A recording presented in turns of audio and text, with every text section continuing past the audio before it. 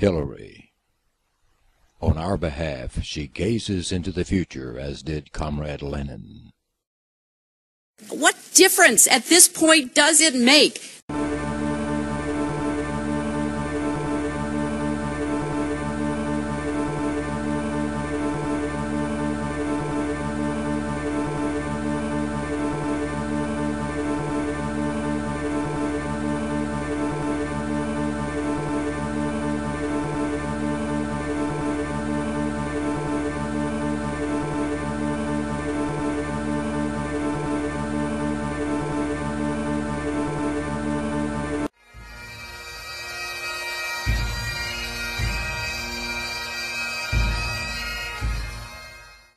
We've seen the heavy assault on our post in Benghazi that took the lives of those brave men.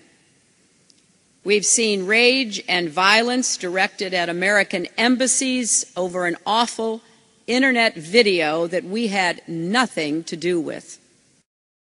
What difference at this point does it make? As low information voters are wont to say, What difference does what make?